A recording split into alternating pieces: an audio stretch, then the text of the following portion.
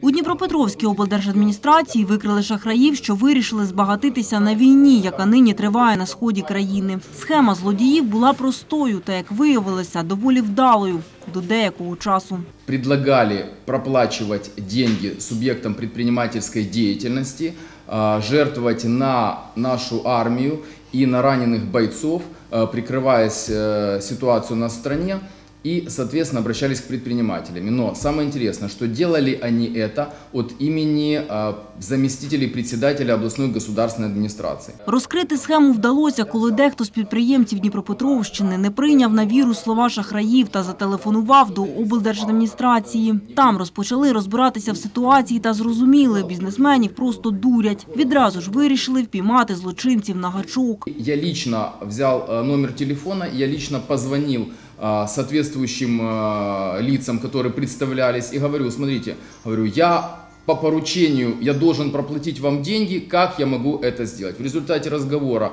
мне дали волонтеров, мне дали карточки, какие-то данные, мы собрали первую информацию, и после этого э, встретились и совместно отработав с УВД области и с оперативными подразделениями, определили э, механизмы действия и движения, как, каким образом нам раскрыть эту преступную схему. Нині відомо вже про близько 40 людей, що стали жертвами шахраїв. Ці люди з Дніпропетровської, Одеської, Львівської та Київської областей. Злочинцями ж виявилося три особи у віці від 20 до 35 років. Один з них деякий час мав тісні зв'язки з волонтерами та атовцями. Це й допомагало здійснювати злочини. Нам удалось установить этих лиц. Сложность была в том, что они действовали из города Киева и Киевской области. Сумма на данный момент ущерба, который был нанесен, более полумиллиона м, гривен. Двох шахраїв затримали 27 квітня. Їм обрали запобіжний захід у вигляді тримання під вартою. Ведеться слідство. Юлія Шевченко, Кирило Новіков. Новини 51-го.